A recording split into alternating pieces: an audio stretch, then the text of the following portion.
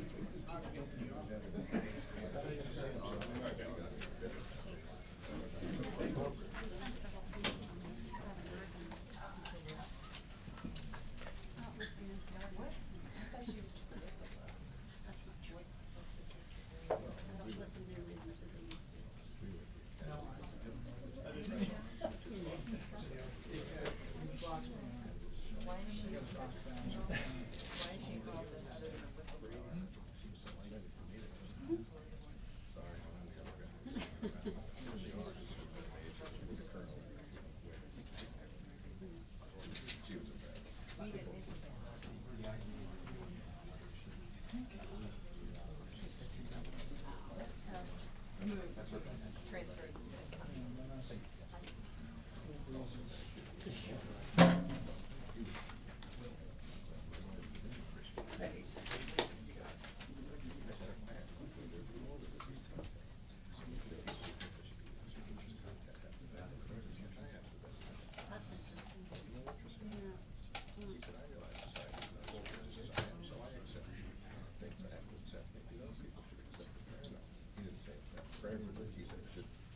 nice. The older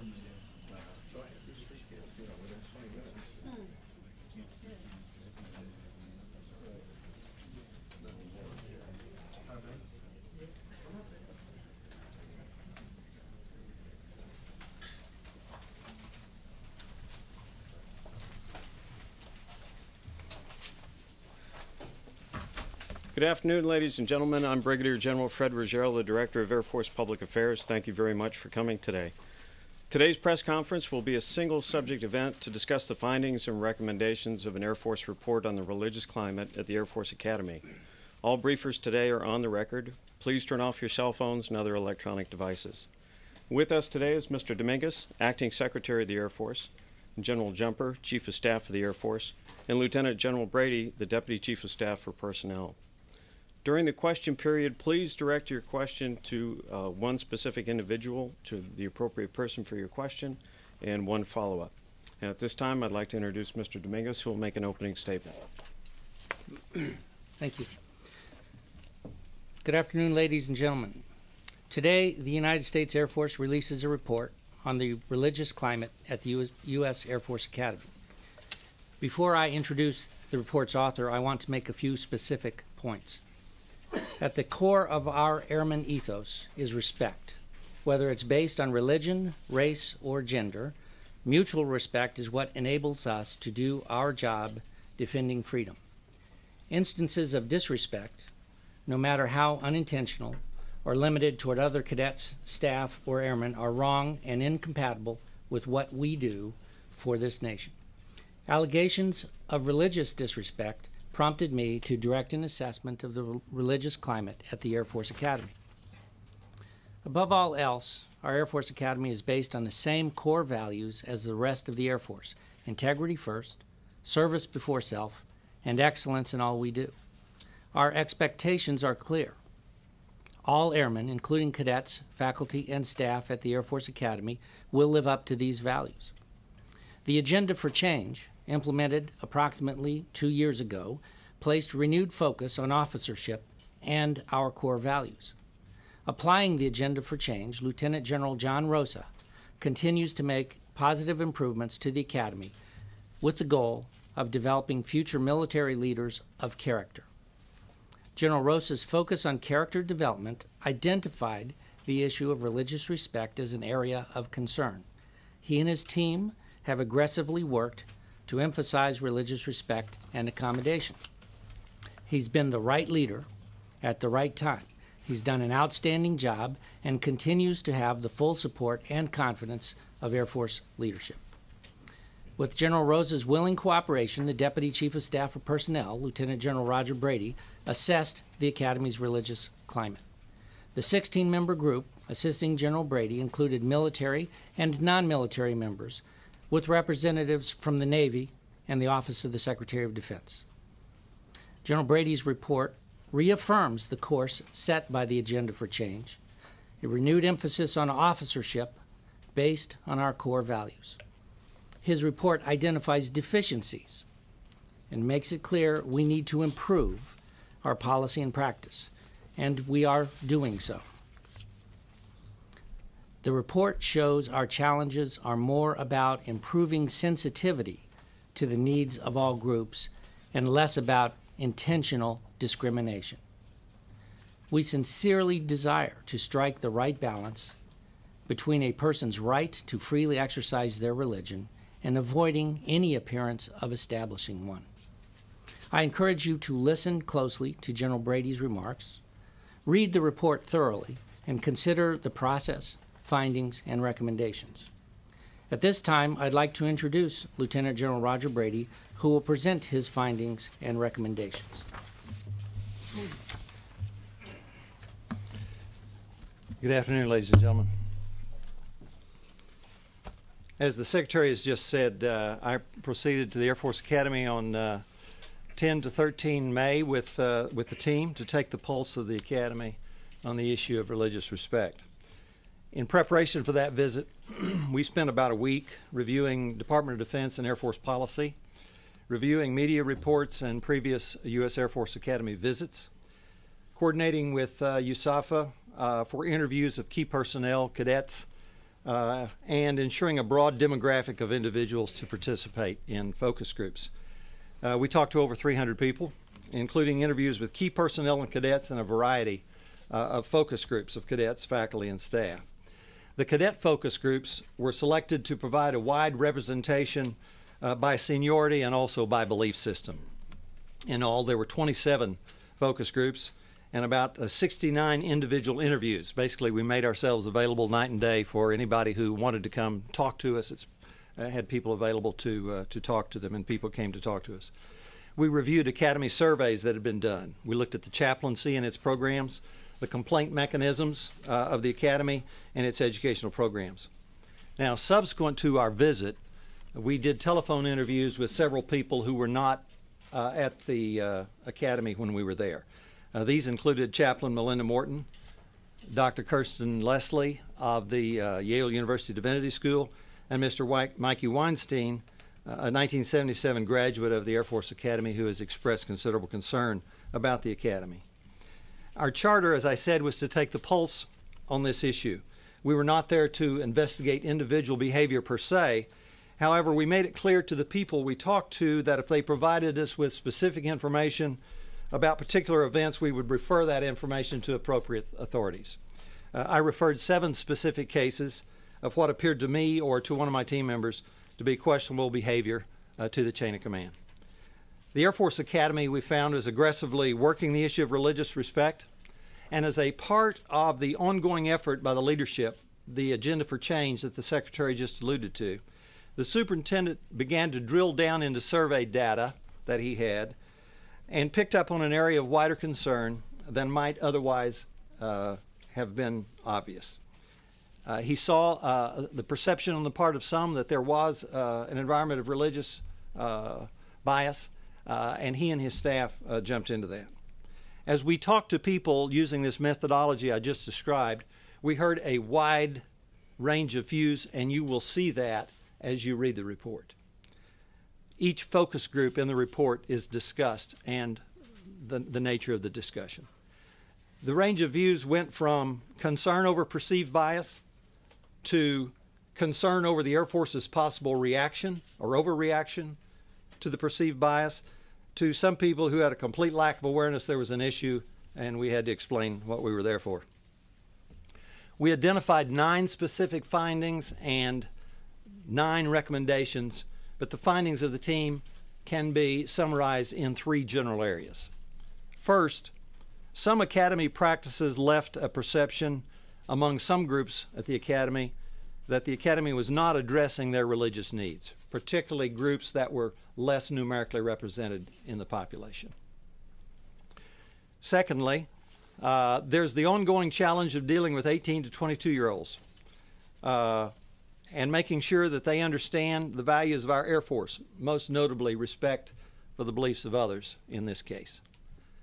Every 1st of July, we bring in 1,300 plus uh, fine young Americans.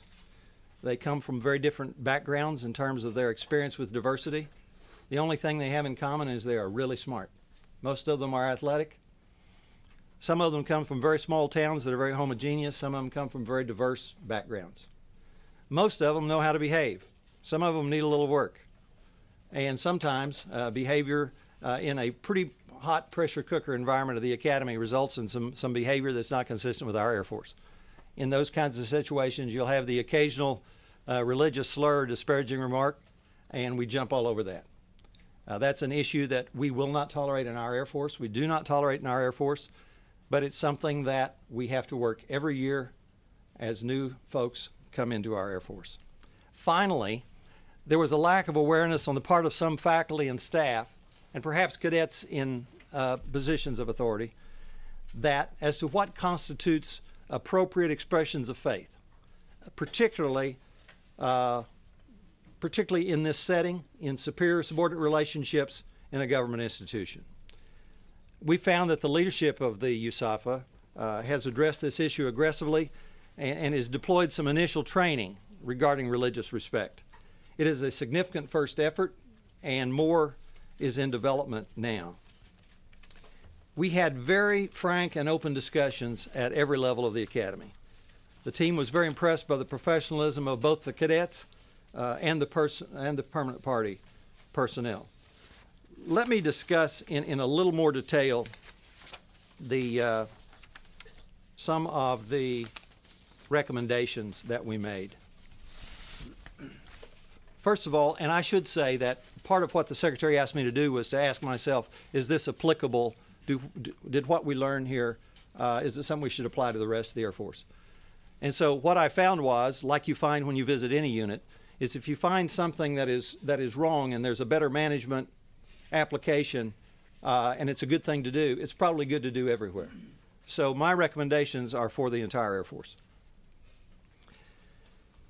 We need to develop, we found that the policy guidance is fine as far as policy guidance goes. It talks about accommodation, it talks about no discrimination, it talks about not restricting free exercise of religion, but it doesn't provide useful operational guidance to commanders regarding what is and is not appropriate in the area of religious expression.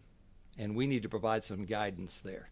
We believe that, uh, I have no reason to believe, that people who are doing things that I think were inappropriate uh, were doing so maliciously. In fact, I think they thought they had the best, the best intentions toward the cadets.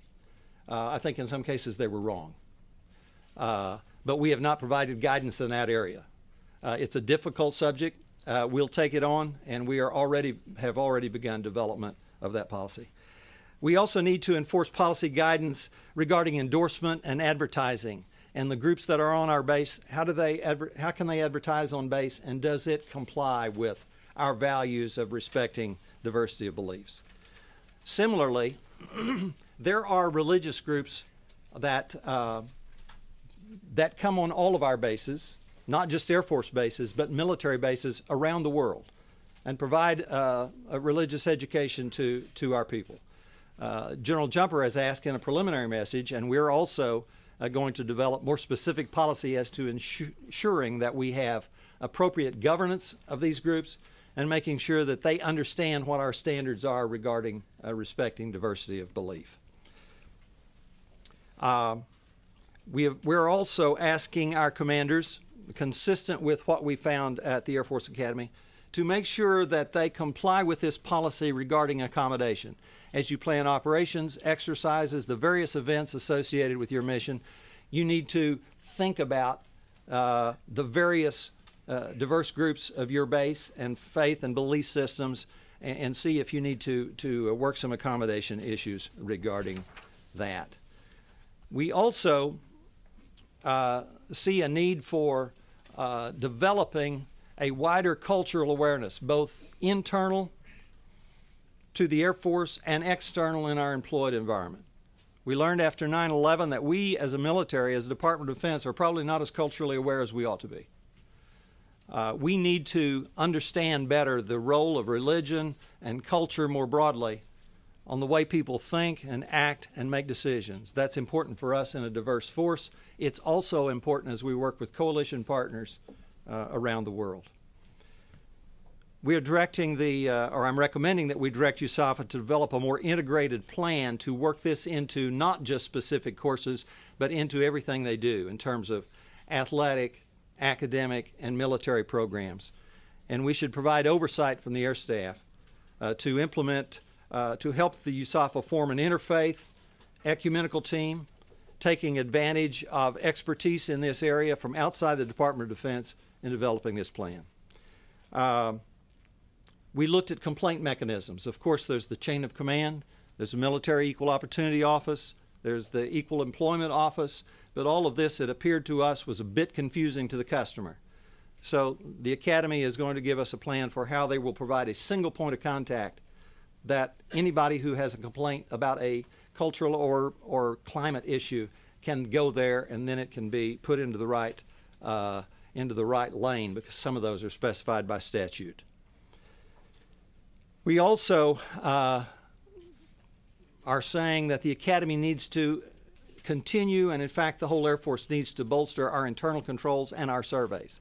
We survey, as you probably know, every year or every other year uh, our climate. We need to make sure that as we learn more about this issue and other issues in a diverse culture, that we're asking the right questions so that in these anonymous surveys, uh, we make sure that we stay abreast of what our people are thinking and what kind of leadership and operational climate that we are providing for them. Finally, we need to, for the Academy to provide continuing opportunities for all cadets to learn about, discuss, and debate issues of religion, culture, and spirituality in a developmental setting. The challenge here is uh, this is clearly a government institution. It's also the home of 4,018 to 22 year olds who are trying to learn and make decisions about some of the weightier matters of life. They need to be able to do that, just like students at other universities get to do that. And we need to provide that in a developmental setting that helps them do that in a way that also incorporates the values of respect uh, for diversity. Uh, this is a, a premier institution wrestling with an issue that is a matter of widespread public debate that is not unique to the Air Force or the United States Air Force Academy. There are challenges at our academy. There are things that need to be done better. We've uh, identified those, and uh, we're awaiting the Secretary's guidance now to proceed with uh, fixing what we need to fix and press on. Before we take your questions, it's important for you to know that I fully accept each of the nine recommendations General Brady has discussed. And I also support the work and recommendations of the National Conference on Ministry to the Armed Forces. In addition to accepting those recommendations, I'm sending my director of the Air Force Review Board's agency to visit the Academy to ensure the military equal opportunity and equal employment opportunity processes are in order. We're also working with the Academy to find experts from inside and outside of the Department of Defense who will help us refine and improve our character development and religious respect programs. Recently, using lessons learned at the Academy, General Jumper gave direction to all Air Force commanders, alerting them to be sensitive to religious respect issues. As we develop the improved operational gu- guidelines called for by General Brady, we will share, share those and any new lessons we learn with our commanders. I'm also pleased to announce today the selection of Major General Select Irv Halter as the Academy's Vice Superintendent. This new position, which we've been working to establish for some time now at General Rosa's request, will support the Superintendent's continuing efforts to fully implement the agenda for change, focused on building officers of character. Our mission to develop leaders of character for our nation requ- requires us to continuously look at ourselves to ensure we're doing things right. When we identify things that may need improvement, we investigate them, fix them, and get on with the business of developing leaders for America and America's Air Force. I want to publicly thank General Brady and his team for their thorough and deliberate work. Also, I want to thank Jack Williamson of the National Conference on Ministry to the Armed Forces for his leadership and the conference's report. Finally, I thank Governor James Gilmore, chairman of our Board of Visitors. Under his leadership, the Board of Visitors has been and will remain key to our progress. We benefit tremendously from his leadership and the Board of Visitors' advice, and we will continue to address this issue of religious respect openly with the Board of Visitors and with the Congress of the United States. In fact, Congressman John McHugh, the chairman of the Personnel Subcommittee of the House Armed Services Committee, and I spoke this morning and agreed on the importance of a hearing on this matter. At this time, we'll be glad to take your questions. Yes, sir. Um, Mr. I'd like to ask General Brady if I could. Yes, sir. Um, General, I, I, I think you'd agree that, that this can be an explosive subject in today's world, beyond the Air Force and beyond, beyond the Academy because of the clash you have now around the world between the ideas and the Muslim religion and Christianity.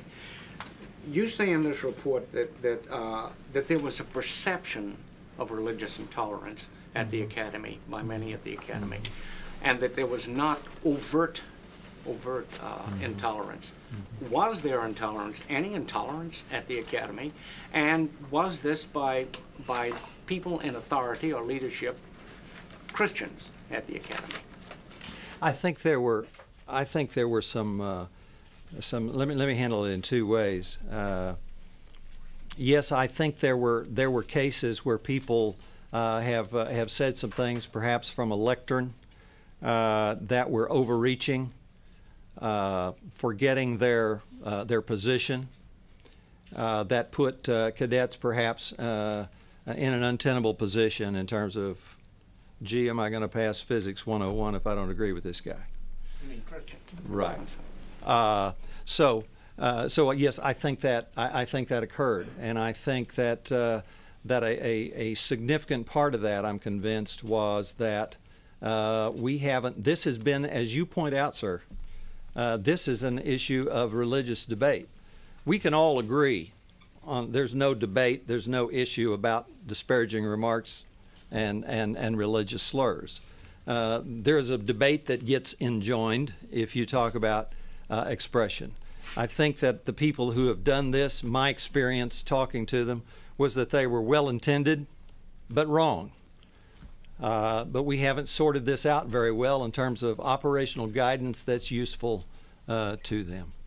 Can I guess, I guess I'm sorry, to sum that up, there was, there were instances of religious intolerance, not just perceptions of it, but there were, there was religious intolerance. Well, I don't know that that's that's intolerance. It's certainly insensitivity to to the situation.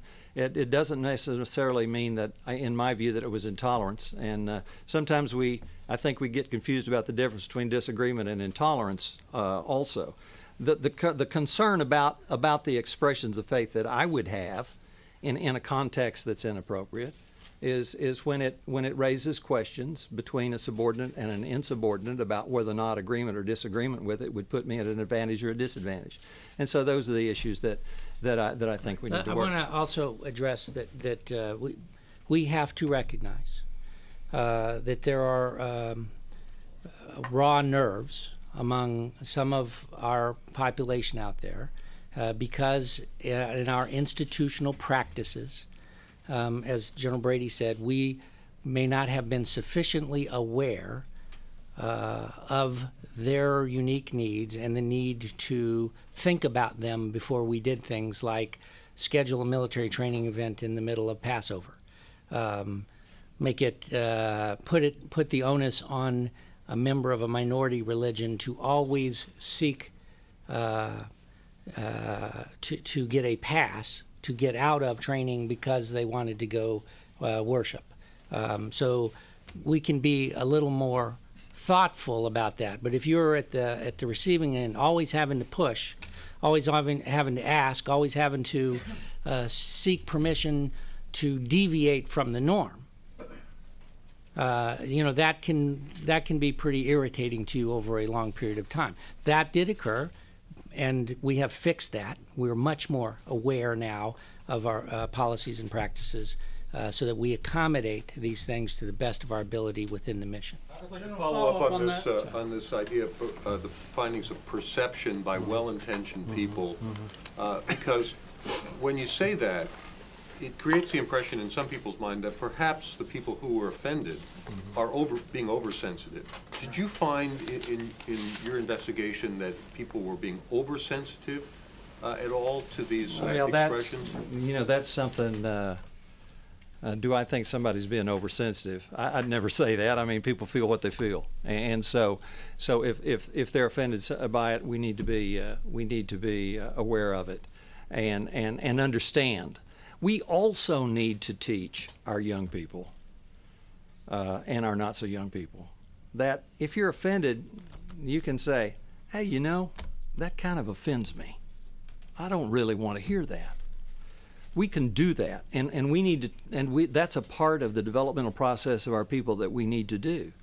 Uh, we we've done it in every other area, uh, and we need to do it in this area. So I think I think that's something that, that will work. Let me yes, just, ma'am. let me just, let me just jump in and add one thing uh, on, on this. Uh, to the extent that some people who received a message uh, took it as offensive, then, then we respected that, that opinion. Uh, the thing that uh, we, uh, we corrected were people who were standing up in front of cadets e- expressing a personal belief in a clear position of authority that was not appropriate or sensitive to the uh, feelings of the whole group. That's the part that was corrected and corrected in a timely in a timely manner. So it's whether it was received, it was how, how it was received is uh, a matter of uh, uh, whether it was offensive or not. It was inappropriate to transmit uh, for for uh, instructors to transmit in that mode. Not what they say, but the, the the context setting context in which it's they said. said it, and in a position of authority, standing up in front of a class with perhaps a uniform on, certainly is a in, in a position of authority that uh, that we uh, that's the behavior we sought to correct. Why don't we, yes, ma'am. Um, Can you tell us how widespread that practice was? I know you didn't do a statistical analysis of it, but just to give us a sense, it it went beyond General Weida.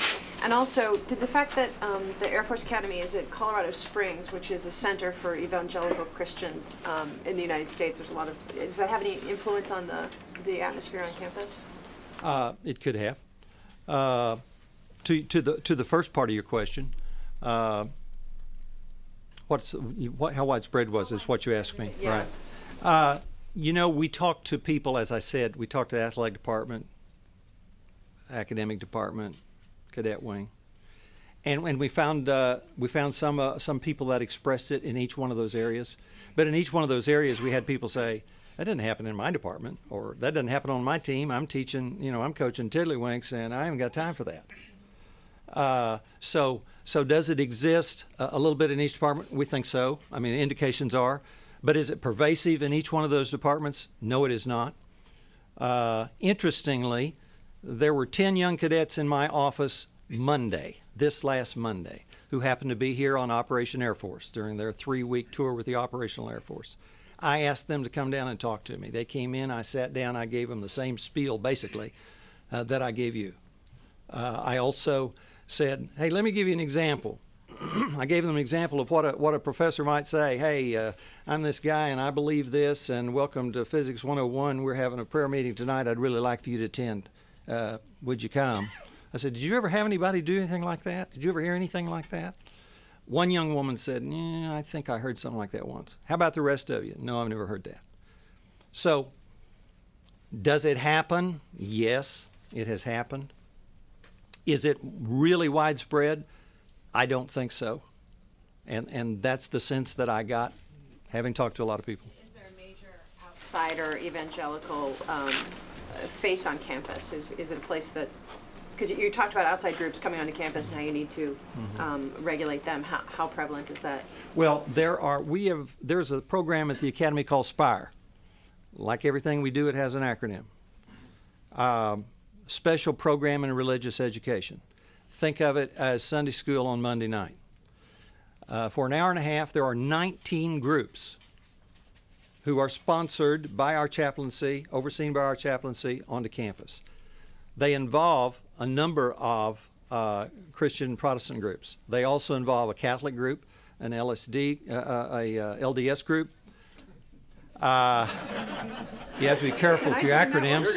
Uh, no offense. Uh, a Buddhist group uh, and a Jewish group.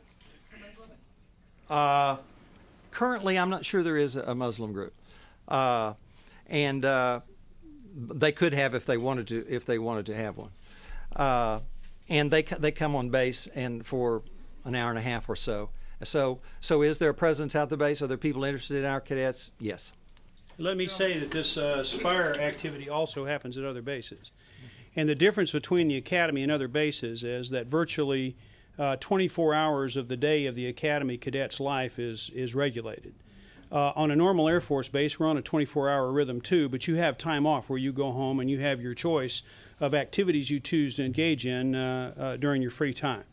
The free time is pretty much regulated at the academy, so uh, rather than send people uh, uh, off base, these these groups are allowed to come on.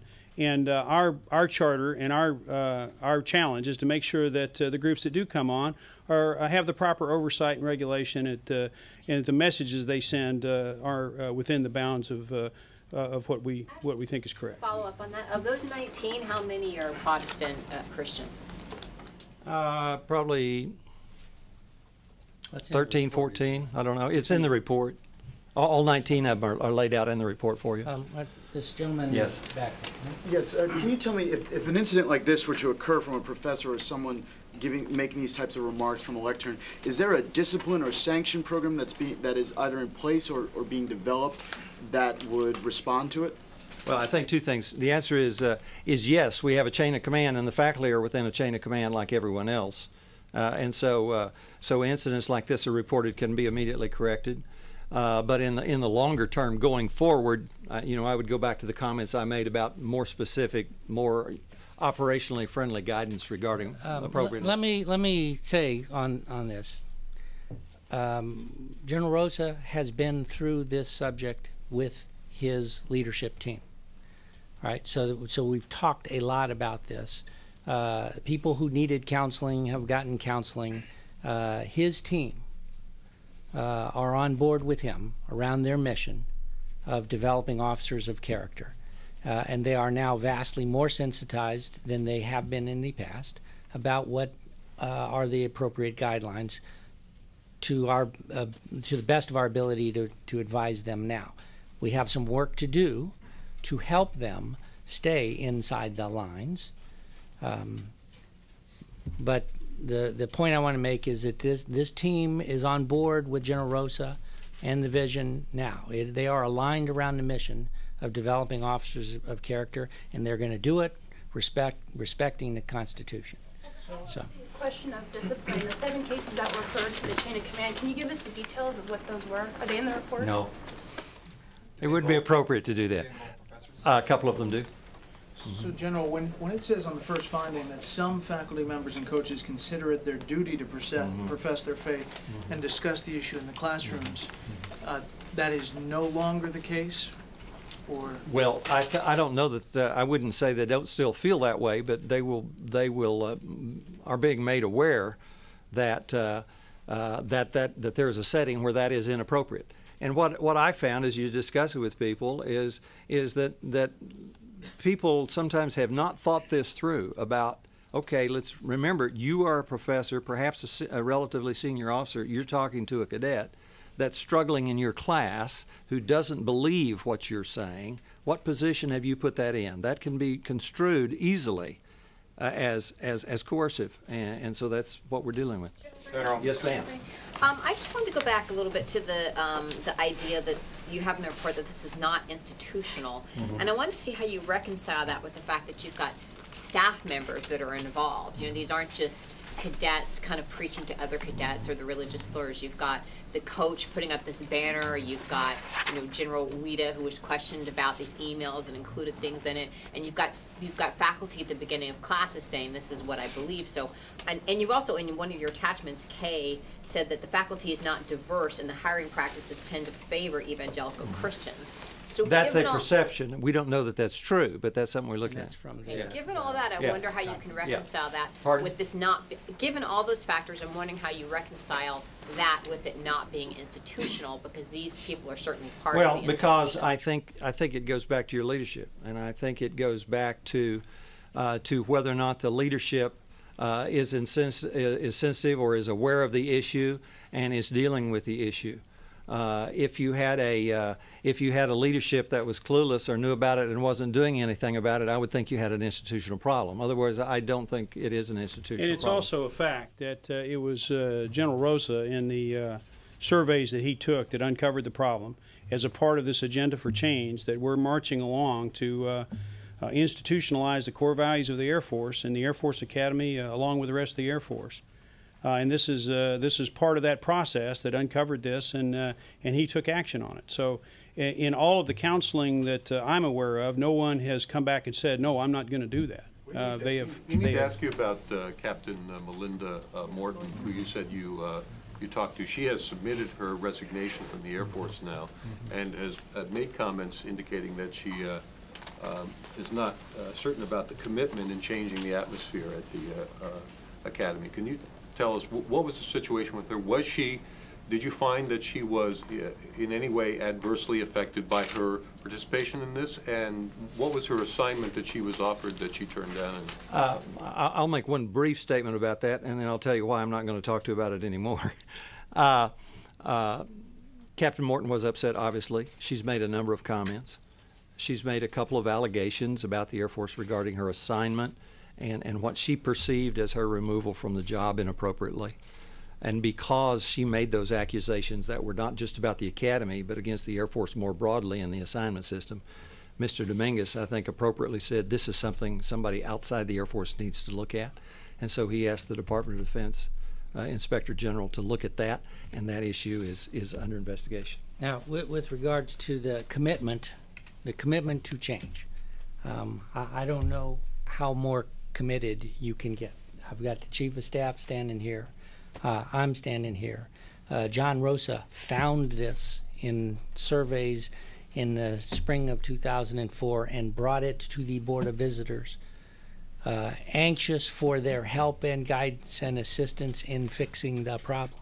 He did not have to do that. He did not have to put it into the public. He wanted to change.